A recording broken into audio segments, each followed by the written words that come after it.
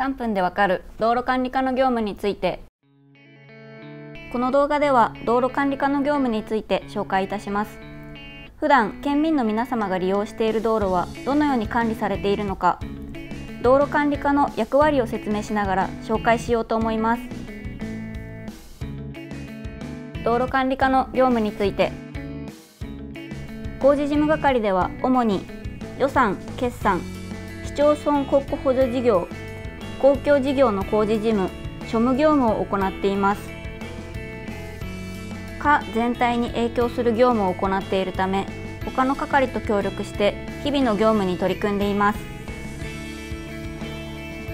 道路管理係では道路を利用または管理していくためのさまざまな許認可や手続きを行っています。主な業務は土木事務所と調整しながら道路の範囲を確定する告示や供用開始の告示を行うなど道路を皆様に利用していただくための手続きを行っています。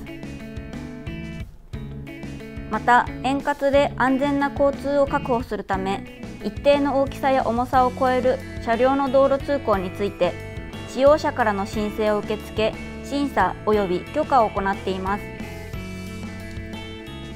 補修係では主に県管理道路の維持、補修、修繕を行っております。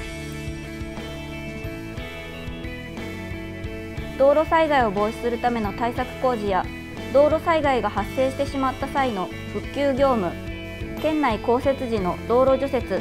路面が傷んでいる箇所の舗装補修や道路沿いの街路樹の管理や除草トンネルをはじめとする各道路施設の維持管理と担当する業務は多岐にわたります。市町村道係では市町村が行う道路事業の国の補助金などに関する事務やさまざまな相談への対応道の駅に関する業務について市町村への支援を行っています。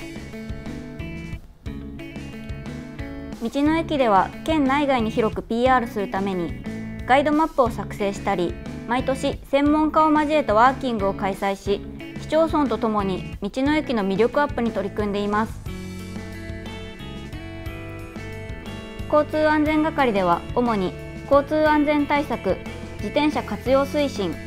無泥中華推進事業道路付属物整備事業に関する業務を行っています。特に交通安全対策としては子どもたちが安心して通学できるように歩道整備や自転車通行空間整備などを行っています。また自転車マナーアップ運動や高齢者初心者幸せドライブなどソフト対策による交通安全対策にも取り組んでいます。